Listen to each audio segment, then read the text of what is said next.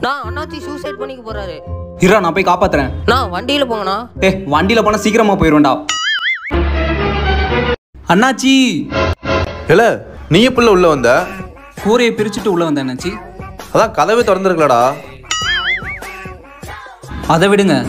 நீங்க ஏதோ சூசைட் பண்ணிக்க போறேன்னு சொன்னீங்களாமா நான் எப்பல சூசைட் பண்ணிக்கிறேன்னு சொன்னேன்? சின்ன பசங்களாம் ஐபோன்ல டைனாமிக் ஐலாண்ட்னு வச்சிருக்காங்களே என்னால வைக்க முடியல இருங்க என் பாஸ்ட்ட கேட்குறேன் பாஸ். இந்த ஆண்ட்ராய்ட்லேயும் டைனமிக் ஐலாண்ட் வர மாதிரி ஏதாவது செட்டிங் தான் சொல்லுங்க பாஸ்.